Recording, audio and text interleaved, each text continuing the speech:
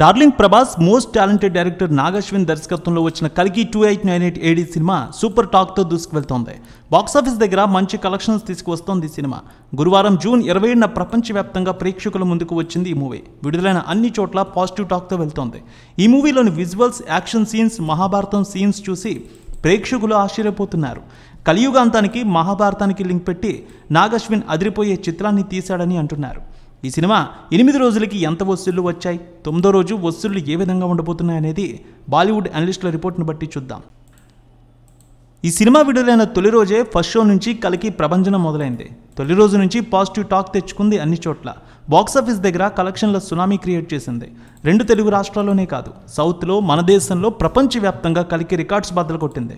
ఉత్తరాదిలో కూడా కలికి కలెక్షన్ల వర్షం కురిపిస్తోంది. యుగాంతానికి మహాభారతానికి లింక్ పెట్టి శ్రీ మహావిష్ణువు పదో అవతారం కల్కి కథను ఆధారంగా చేసుకుని తెరకెక్కించిన ఈ సినిమా ప్రతి ఒక్కరిని ఆకట్టుకుంటోంది. కల్కి సినిమా విడుదల తర్వాత మహాభారతం దానిలోని పాత్రలపై నెట్టింట ఆసక్తికర చర్చ సాగుతోంది. కల్కి చిత్రం అరుదైన రికార్డు సాధించింది. ఈ చిత్రం విడుదలైన నాలుగు రోజులకి ఐదు వందల యాభై ఎనిమిది కోట్లు తీసుకువచ్చింది. ఇక ఐదో రోజు ఆరు వందల కోట్ల వసూళ్ళు దాటితే ఏడో రోజు ఏడు వందల పది కోట్లు దాటింది. ఎనిమిదో రోజు సుమారు యాభై ఎనిమిది కోట్ల వరకు తీసుకువచ్చింది. మొత్తం ఏడు వందల యాభై ఎనిమిది కోట్ల వసూళ్ళ మార్కు దాటింది ఈ సినిమా. వీకెండ్లో సుమారు రోజుకి వంద కోట్ల రూపాయల వరకు తీసుకువచ్చింది ఈ మూవీ. ఈ వీకెండ్తో సినిమా వెయ్యి కోట్ల మార్కు చేరుకోవచ్చు అంటున్నారు అనలిస్టులు.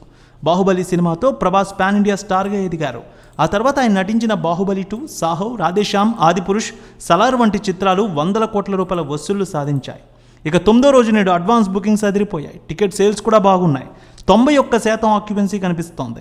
నేడు మరో యాభై కోట్ల రూపాయల కలెక్షన్స్ రావచ్చు అంటున్నారు అనలిస్టులు. ఈ సినిమాకి నాలుగైదు వారాల వరకు డోకా లేదు. అనలిస్టులు ఇదే విషయాన్ని తెలియజేస్తున్నారు. థియేటర్లో చూసేందుకే అభిమానులు ఇష్టపడుతూ ఉన్నారు. వీకెండ్స్ మరింత మార్కెట్ పెరుగుతుందంటున్నారు కూడా. అన్ని భాషల్లో ఐదు వందల పన్నెండు కోట్ల రూపాయల వసూళ్ళు వచ్చాయి సినిమాకి. హిందీలో నూట నలభై ఐదు కోట్లు రాబట్టింది. ఓ కొత్త చరిత్రనే చెప్పాలి ఈ ఏడాది. ఓవర్సీస్లో రెండు వందల కోట్లు దాటాయి. తమిళనాడులో కూడా సౌత్లోనే సెకండ్ పొజిషన్లో ఉంది. ఇరవై ఎనిమిది కోట్ల వసూళ్ళు వచ్చాయి సౌత్లో తమిళనాడు రాష్ట్రంలో. విడుదలకు ముందు నుంచే కలికి చిత్రంపై భారీ అంచనాలు నెలకొన్నాయి. దానికి తగ్గట్టే బాక్సాఫీస్ దగ్గర కలికి సరికొత్త రికార్డ్స్ క్రియేట్ చేస్తోంది.